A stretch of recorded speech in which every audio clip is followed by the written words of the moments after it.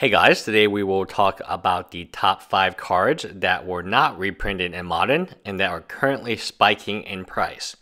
Now, a lot of Modern is going to be cheaper, but that doesn't mean all the cards are going to go down. Cards that are not reprinted but are in high demand will go up in price, and these 5 are victims, if you will, of buyouts.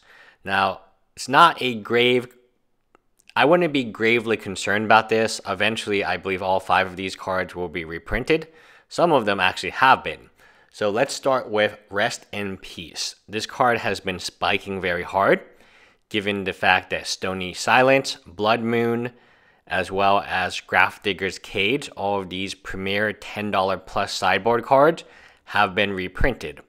Rest in Peace was not reprinted and it has just spiked in price from the original RTR price of a dollar to the now new price of seven dollar. Foil copies are incredibly rare and incredibly expensive.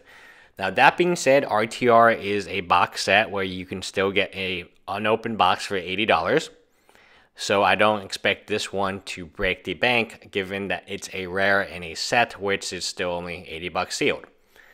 Next, Karn Liberated. This one is slightly different. Karn Liberated is a $70 card. This is the Modern Masters 2015 edition of him. So it's pretty recent. It's less than two years ago.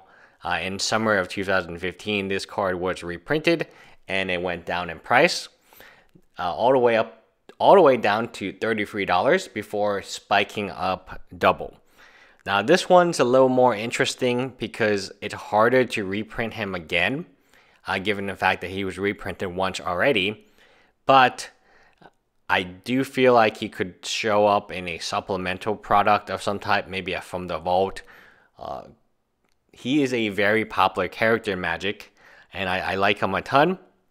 I would love to see him reprinted in a mass quantity of some type, but normally when we're talking about standard, uh, they don't reprint Planeswalkers unless it's a core set.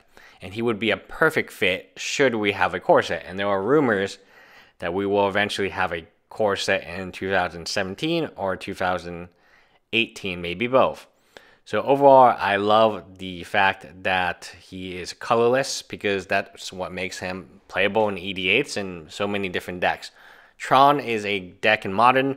It's got a little weaker, but still a deck nonetheless and none of its pieces got hit very hard, as I will show you soon.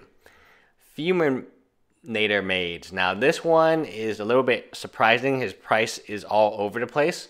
We're looking at the original Shadowmoor version, but the Modern Master 2015 version has also spiked.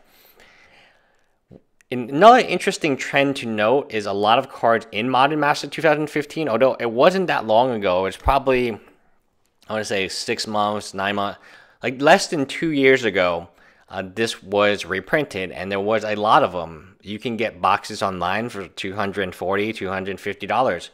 Uh, when I bought a box for my subscriber, it was 220 at the time, and that wasn't that long ago uh, when we opened a box at 220 from a retail price.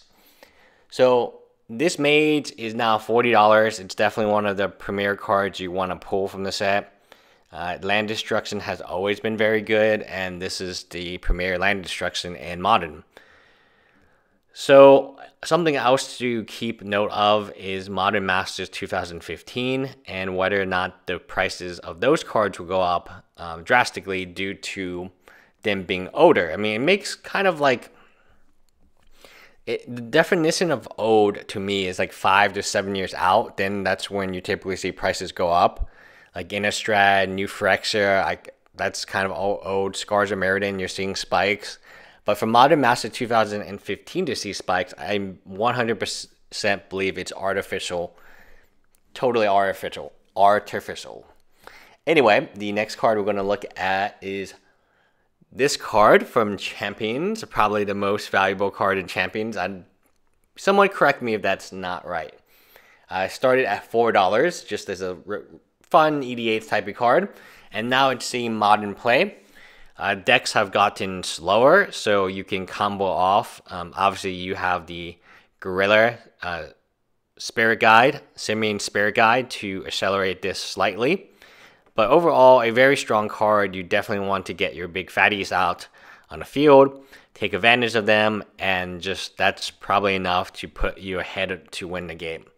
Uh, very good in tempo, very good in control type of builds. I've seen it in a blue red control build, which my friend plays a lot of, where he just counters stuff and he tries to combo off of this piece. Uh, definitely another card to look out for because uh, any type of card that puts creatures in play, that's extremely valuable in Modern, as you can see from Goryo's Vengeance.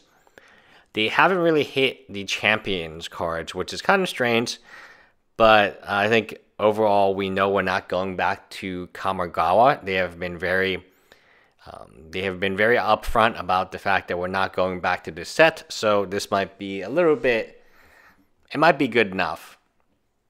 Now, one of the cards, and the card I want to most talk about in detail is this one.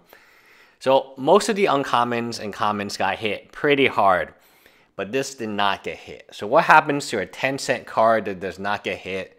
Well, as long as it survives reprint after reprint after reprint attempt, it will go up to six dollars as a as a common. So it's very intriguing to me.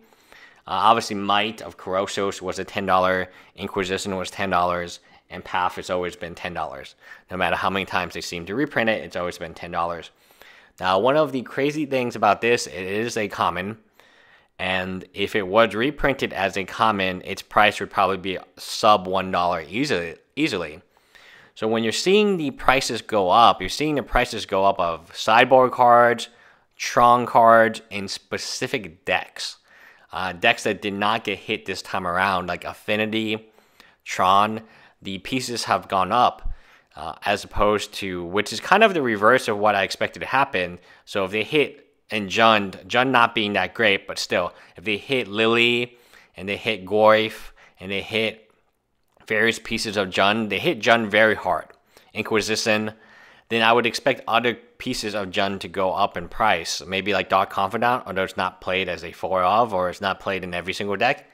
But that's not what's happening. What's happening is specific decks that got hit or did not get hit as hard, they are going up in price.